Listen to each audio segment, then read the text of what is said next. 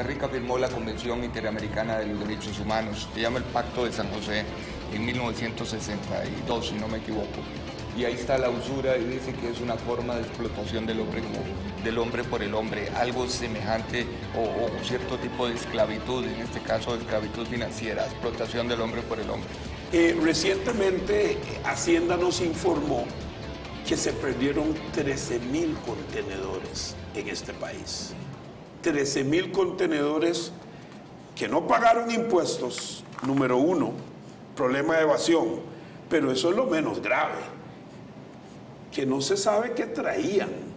Un 40% de los préstamos de este país van para el sector comercial, solamente un 28% para vivienda que es un, un hecho que, que, le da inversión a la gente, que le da techo, que moviliza la economía de este país porque circula el dinero por diferentes sectores.